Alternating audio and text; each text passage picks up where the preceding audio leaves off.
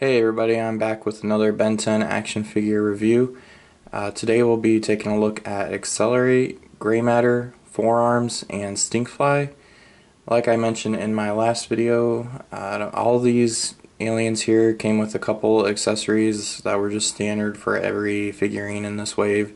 Uh, one accessory was a little holographic disc and uh, depending on what direction you held that disc or what direction you looked at it, the image changed just to show Ben transforming into that alien.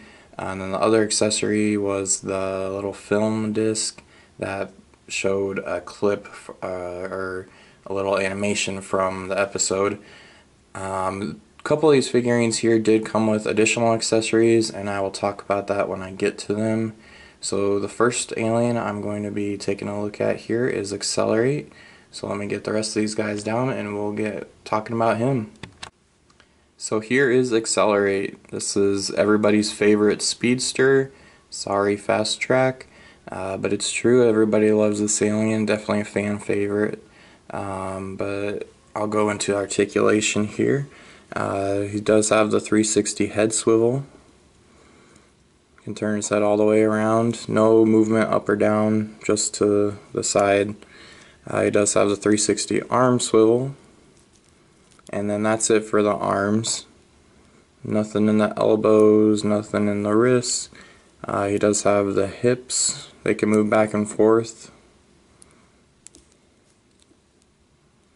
And then the knee joint can move uh, a little bit. They don't move a whole lot but just like that just a little bit of movement there.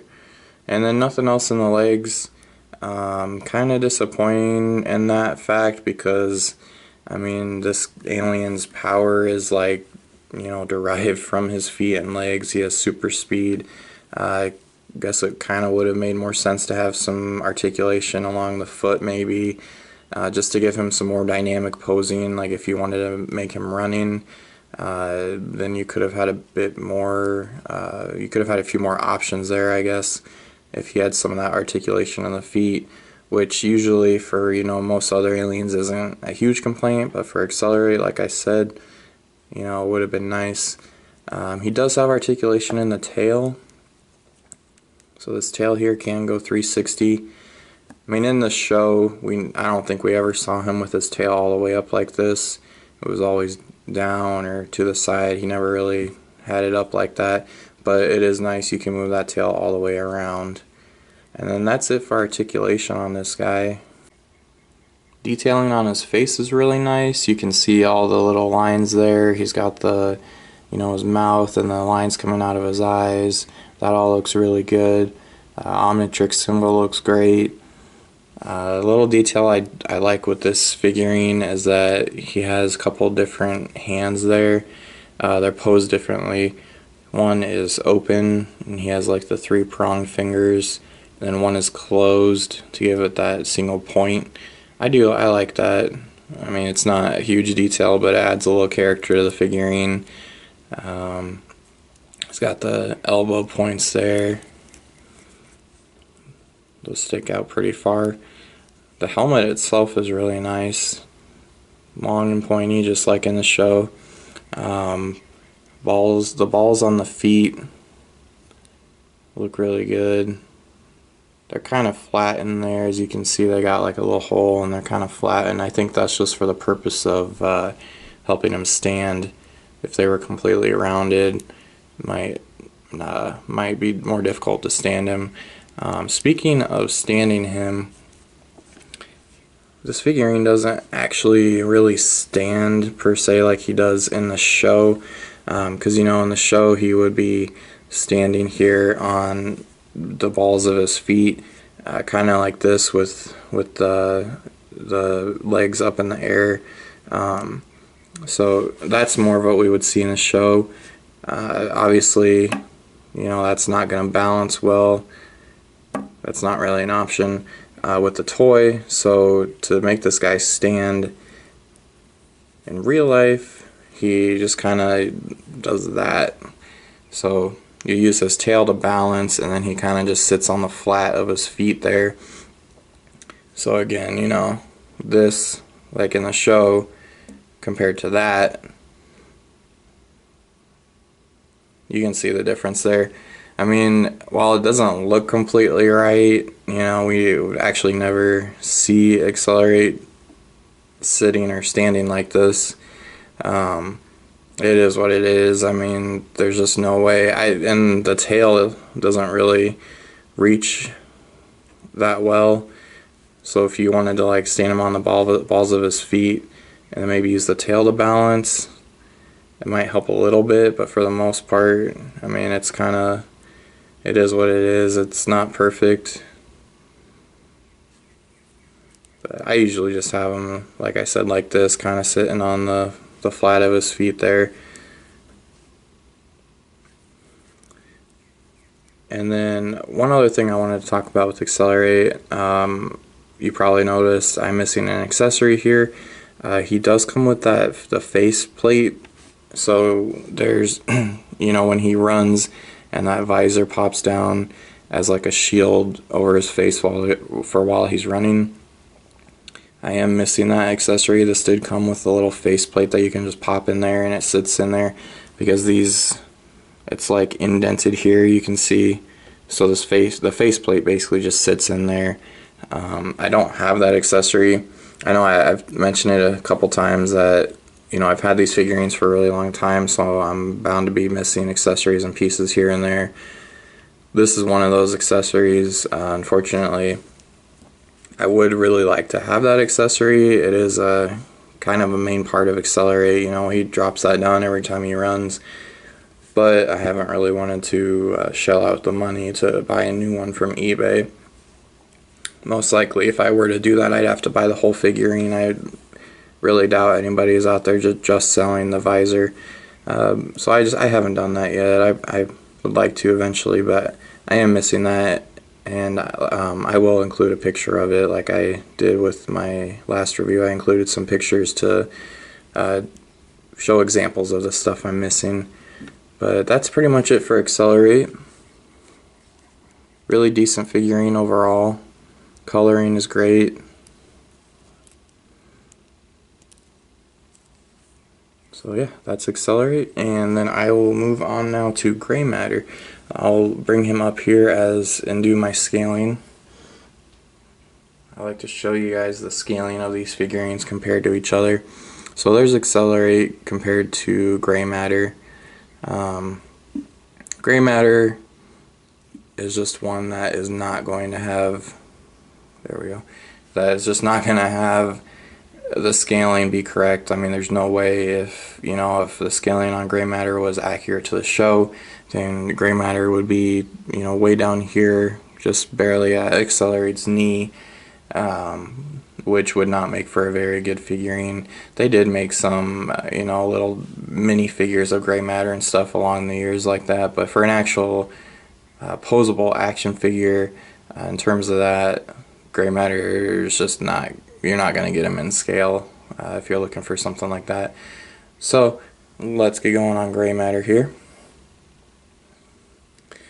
Um, I'll just start off by saying, uh, before I start off on the articulation, I'll talk about the, uh, the accessory that Grey Matter came with.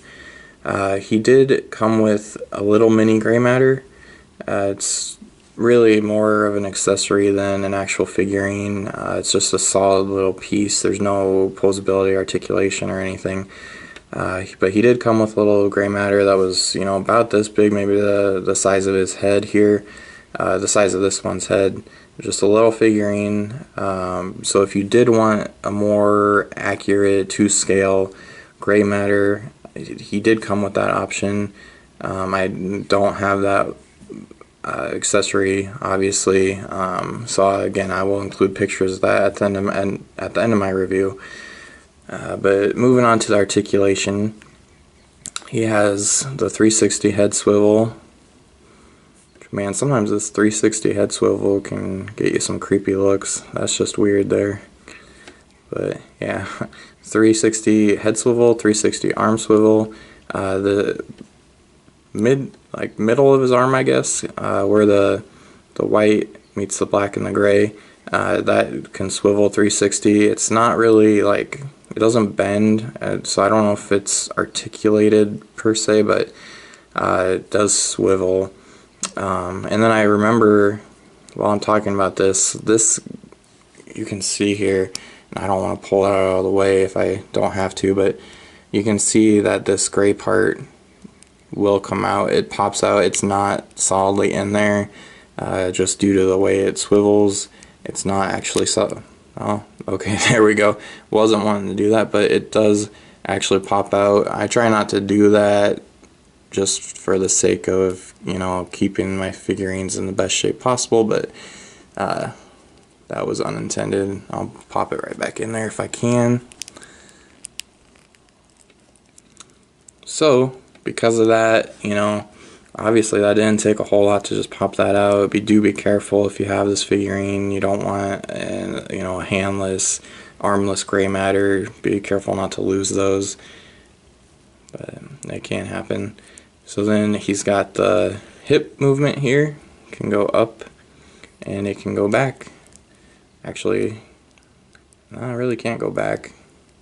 That's kind of disappointing. So it goes all the way up to a 90 degree angle there, but then that joint at the hip does not move back at all.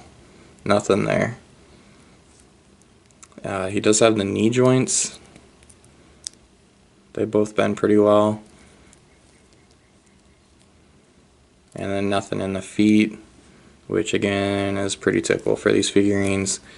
Um, for being such a small figurine, I mean, you can see, you know, my finger is bigger than him. Sorry about the paint.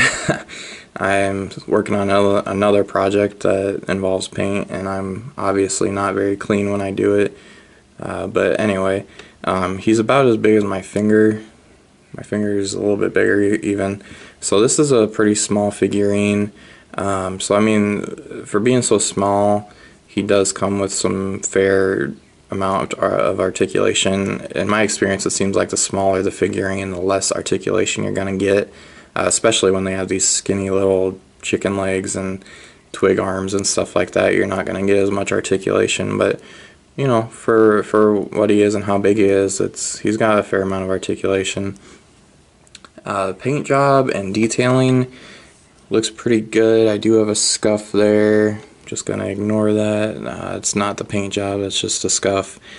Um, Omnitrix symbol looks good. It's on the back. One of the few aliens that it might be the only alien that you can't see the Omnitrix symbol from the front. But they do have that on the back and it looks really good. Sticks out quite a ways. Nice solid piece there. Um, the eyes and everything look good. You can see his little gills there. Those are indented and actually detailed. His mouth is indented there. And he's got that black line that goes on the onto the back of his forehead. You can see the little black shoes there with the back of his foot sticking out. That looks good. Uh, the toes are each individually sculpted and uh, got that indenting. Hands are good and well sculpted. So overall, like I said, I mean, for being such a small figurine, they did really good with him. Like the amount of detail they put into him is is pretty pretty awesome. Uh, I just I've seen it so many times before where the smaller of a scale you get to, smaller of a figurine. I mean, a lot of minifigures and stuff. You're just you don't get much detail. You don't get much articulation. So it's pretty uh, pretty pleasant to see that they put some of this articulation and a lot of detail into this guy. And so the next alien will be Four Arms. Uh, going from like the smallest guy to one of the biggest guys here.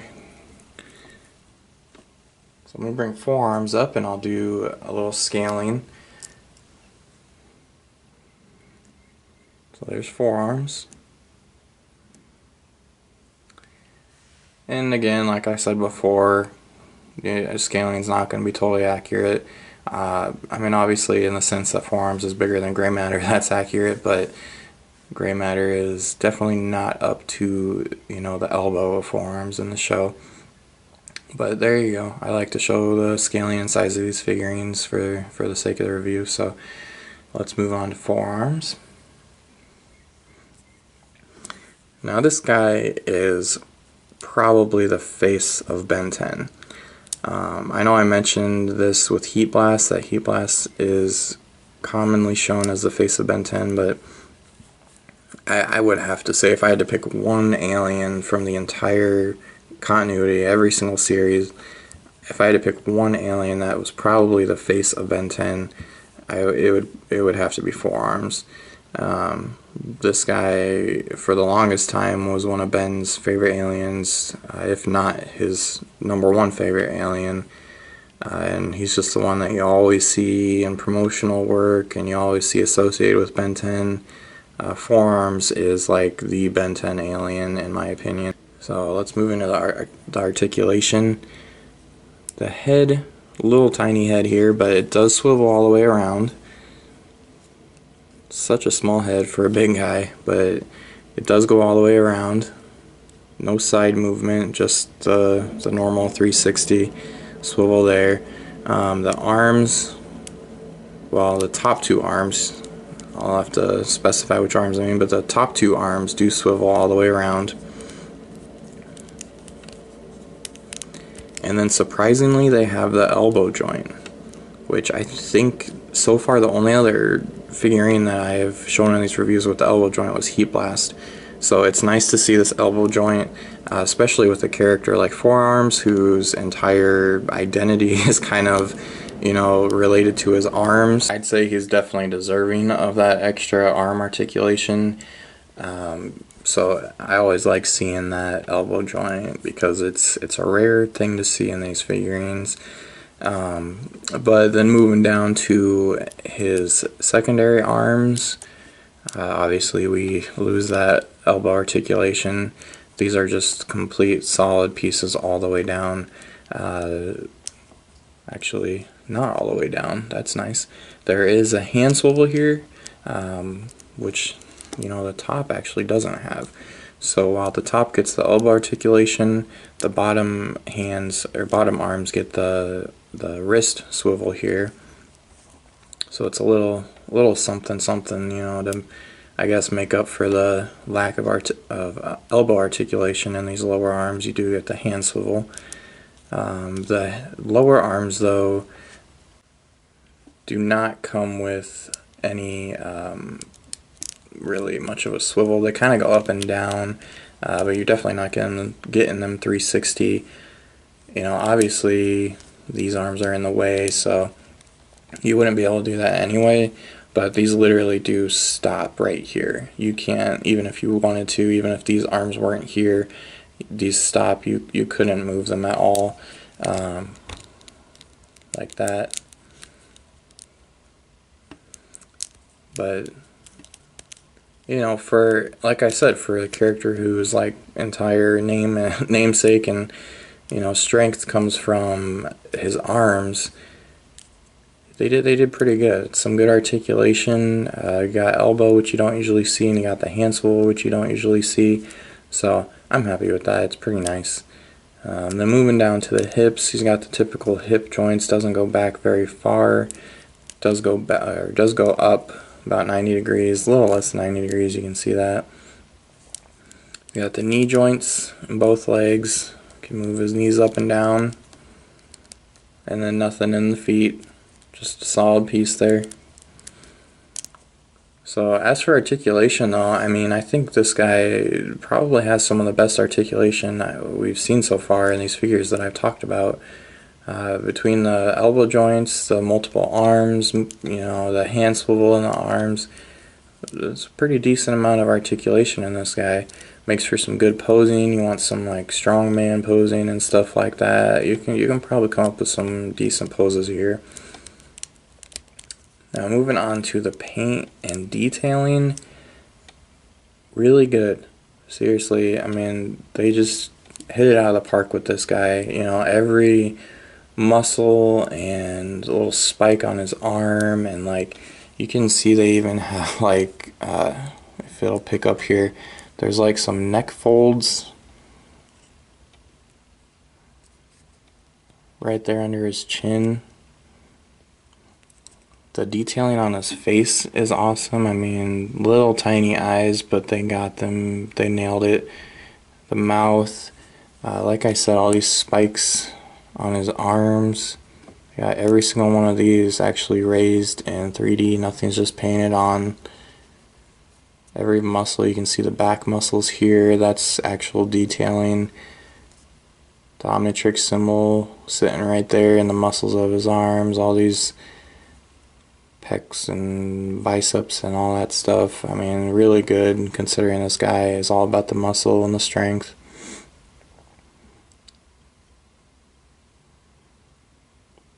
Any paint defects you see on this guy is really just from old age. Everything that, you know, was from the manufacturer was painted great. Nothing's out of line, nothing's missing paint.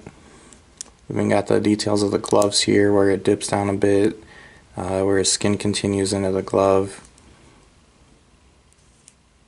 Everything on this figurine is just really nice. They did they did not, you know, pull any punches, if you will, uh, with this guy. He looks great. Very nice figurine. Um, now moving on to the last alien I'm going to talk about here is Stinkfly. So I'll bring Stinkfly up to stand next to Four Arms. And scaling here is probably the most show accurate that I've shown in this review so far. He's about half of forearm's height, which I, I feel like I remember reading somewhere that Four Arms is like 10 to 12 feet tall. Uh, so about half of that would be like, you know, 6 feet, which I think would be pretty accurate for Stinkfly. So the scaling here is really nice. Um, like I said, probably the most accurate that I've shown in this review. So then moving on to Stinkfly. this guy is he he's got he's got a lot of articulation, but none of it's the typical stuff. Um, I mean, he does well. He does have the head here, 360. Uh, the arms swivel around 360, but then you come down here, and this is some weird articulation that you don't see much. It's it's like conjoined articulation, where if you move this leg here, this move all this leg also moves so if you move this up both legs move why they did it like that I'm not sure. Maybe saves money saves time I don't know. Um, kind of would have been nice to be able to move these independently like you know for just different poses and stuff but uh, like I said he's got the articulation he is articulated but it's just not your typical articulation that you see. Um, so yeah. And the bottom legs are just like that too. They don't move independently. You move one you move the other I, I have to imagine that was just something to save money or time. I don't I don't know why they would have done it otherwise. Um, and now the the tail back here is articulated. It's got a swivel uh, so it does turn all the way around although I don't think he can really do that in the show.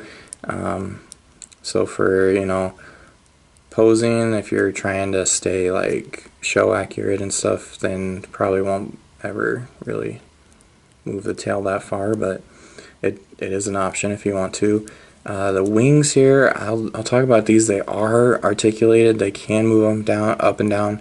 Um, you can see the joints and the hinges there. So these are articulated. Mine is just really stiff, like to the point that I don't want to push it too far and break it. Um, so for the sake of the review, I'm probably not going to do that. Uh, but they are articulated. Uh, mine's just really old and really stiff, and I don't want to like break any of these metal joint pieces that are in there in the wings. I don't want to pop any of those out or break any of them by pushing it too hard. I've done that with other figurines, and I just I don't want to do that with this guy. Um, but you know that is something to look out for. So if you're buying this guy from eBay or something, take into consideration he might have some stiff joints in the wings specifically. Um, if I remember correctly, they do fold all the way up. So the, the joints will move all the way up and the wings can actually touch. and they go pretty far down, like you know about here. So you can get some decent flapping range, you know, if, depending on how you want to have them flying or uh, if you're posing them, uh, posing the wings, you do get some decent range there. Uh, again, this I mean I I bought this guy probably over a decade ago in the store at Toys R Us. He's seen a lot of use, um, and he's just stiff over the years. He's an old fellow now, so I'm not going to push those wings, um, but they are articulated. I want to stress that because that's it's pretty cool. I mean, they could have just had these wings be a solid piece, which mine kind of are at this point, but they could have had them be a solid piece, but they actually did put in that articulation, so that's a nice touch. As for the paint and detailing on this guy, looks really good.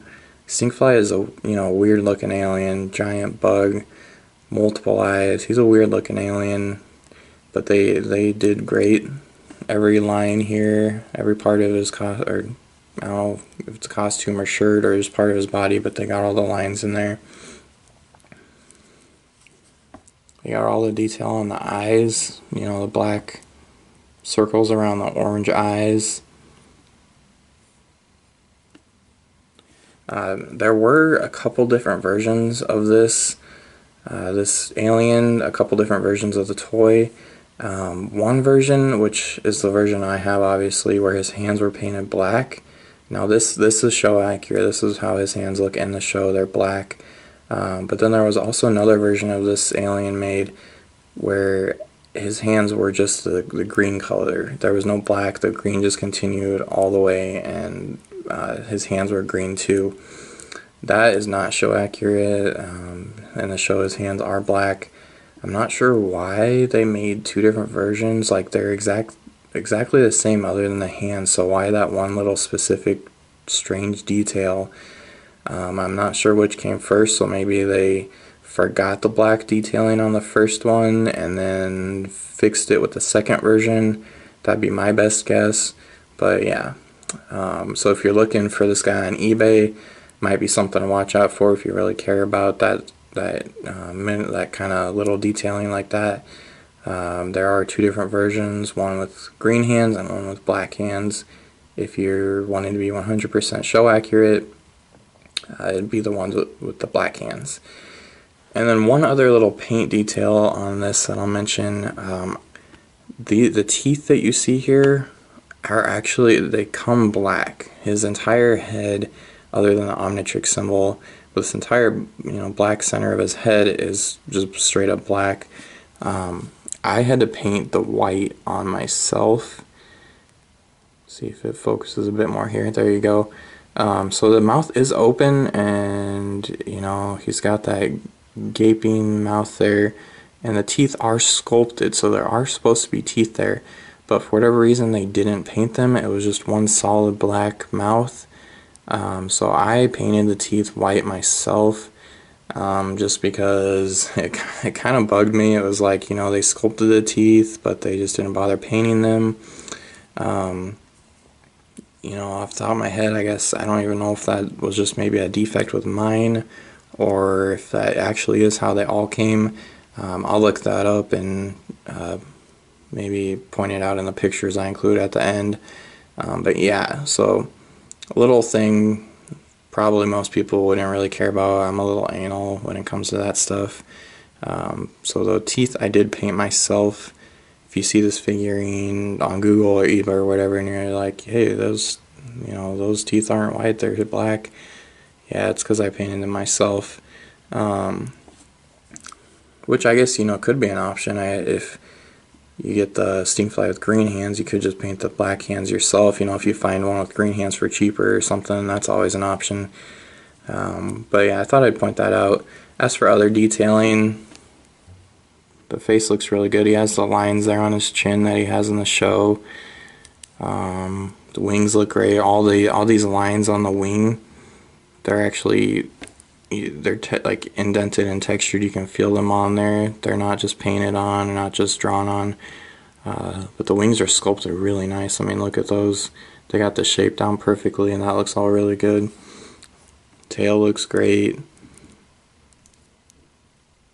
green color is just right So overall, for such a weirdly shaped alien and just uh, an odd guy overall, I think that they did pretty great on this figurine. Um, you know, biggest complaints, like I said, are maybe you got to watch out for the different paint variations, uh, some stiffness in the wings, and then you might have to color the teeth on your own if you care that much about that. But that's it for Stinkfly, and that's all the aliens I have to review today, so let me bring everyone else back up here. Alright, I got everybody back up, and so, you know, I did have a critique here and there for each of these figurines, um, but overall, awesome set of toys. I think they did really well. Um, any of these would be a great addition to a Ben 10 collection. Uh, you know, they like I said, Four Arms has some really good articulation, uh, some some stuff we don't usually see in these figurines. Uh, Stinkfly's sculpt was great. You know, accelerating Grey Matter were awesome too. Um, the occasional critique I had, you know, they're just little things I like to point out. Nothing that's a deal breaker, but um, like I said, overall, really good figurines. Uh, my next review, I will be talking about Ripjaws, Upgrade, Ghostfreak, and Cannonbolt. So definitely keep an eye out for that video. Thanks for watching. I'll catch you guys later.